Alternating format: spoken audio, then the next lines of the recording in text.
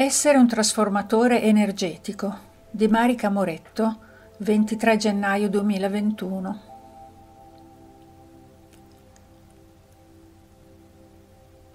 Oggi voglio parlarvi delle anime che possono essere identificate come trasformatori energetici. Innanzitutto posso dirvi che il mondo minerale, vegetale e quasi tutti gli animali lo sono.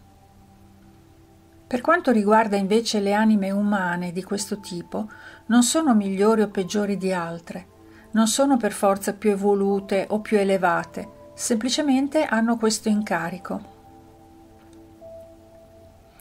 E se ho scelto questo argomento ora è perché in questo periodo proprio loro hanno molta difficoltà nel procedere, a causa dell'intensità del lavoro energetico che stanno svolgendo. L'hanno scelto prima di incarnarsi qui per aiutare il pianeta nella purificazione della vecchia energia e quindi avviare l'espulsione dell'energia dolore connessa alle memorie millenarie di questo mondo. E ne hanno scelto l'intensità e la quantità da trasformare in base alla propria disponibilità. Possiamo dire che contribuiscono in modo non più importante di altri, ma di certo più specifico, nel, nel riequilibrio energetico per portare le frequenze a un livello maggiore. In quale modo?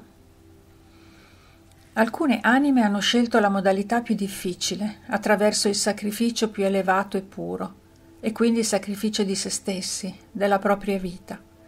Quelle che vengono considerate come stragi collettive o catastrofi sono semplicemente la scelta di ogni singola anima di contribuire attraverso il proprio sacrificio a un lavoro amplificato atto alla compassione, che diventa il fulcro del lavoro di ascensione di questo pianeta.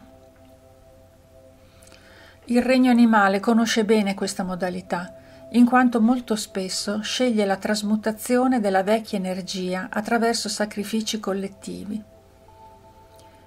È certo che questo non va osservato attraverso l'ego che tende a giudicare ciò che invece è il più grande atto d'amore.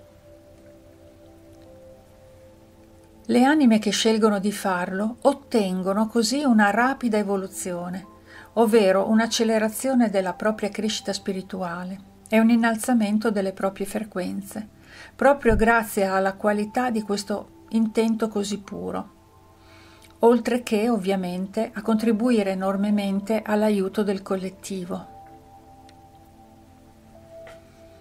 Essere trasformatori vibrazionali significa prima di tutto assorbire e farsi carico delle informazioni dolore, dove hanno maggiormente risonanza con le proprie ferite karmiche. Ecco perché la loro sensibilità è maggiore per sentire in profondità il dolore di questo pianeta e poterlo rivivere emotivamente, trasmutandolo attraverso l'accettazione, il perdono, la compassione e l'amore. Il corpo fisico lo rivive attraverso malattie a volte, oppure attraverso malesseri fisici di vario genere e di varia entità. Per spiegarlo meglio, possiamo dire che ogni anima trasformatrice, attraverso il proprio karma personale, si aggancia al karma collettivo.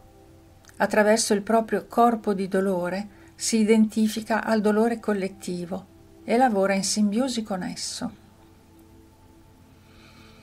Guarendo il proprio karma personale, guarisce il collettivo. È una dinamica che avviene spontaneamente quindi il sentire ne è inondato e il corpo fisico profondamente provato. Certo questo avviene perché le anime incaricate di trasmutare le basse energie hanno la capacità di assorbire quantità considerevoli di informazioni di dolore, hanno la capacità di elaborare attraverso il proprio vissuto e attraverso la propria energia, che possiede vibrazioni appropriate per svolgere tale lavoro. Ovviamente il libero arbitrio può rallentare o accelerare tale processo, in base alle proprie scelte personali, ma non bloccarlo, in quanto l'anima è ciò che ha scelto di essere. Il karma collettivo non è un'idea e non è un castigo, è semplicemente un riequilibrio della vecchia energia attraverso nuovi intenti e nuovi, nuove azioni. Possiamo dire che il karma è semplicemente possibilità di riequilibrio che induce all'evoluzione. Come si fa a comprendere se si è trasformatori energetici? Una sensibilità amplificata è la capacità più adatta per svolgere questo compito. Quindi se avete una grande sensibilità, se percepite in modo empatico più di quanto vorreste, se spesso venite travolti dal dolore che avvertite intorno a voi, se entrando in un ambiente ne percepite le informazioni più recenti e più antiche depositate in quel luogo, se con la natura avete un contatto profondo, tanto da sentire ogni più piccola ferita depositata, se sentite la sofferenza altrui nel cuore, nell'anima, nelle ossa, se il vostro corpo reagisce spontaneamente assimilando il dolore altrui, se ciò che sentite fisicamente ed emotivamente vi sembra fuori controllo per la troppa intensità, se piangete ogni qualvolta percepite il dolore all'esterno, seppur riconoscendolo come non vostro. Se avete la capacità di portare il buon umore dove è più difficile. Se riuscite con facilità a capovolgere situazioni negative solo con la vostra presenza. Se portate il buon umore ovunque. Se il vostro sorriso è una cura per gli altri. Allora sì, è molto probabile che voi lo siate. Non c'è un modo per proteggersi da questa sensibilità, per soffrire meno, perché è ciò che si è, è ciò che si è scelto di fare.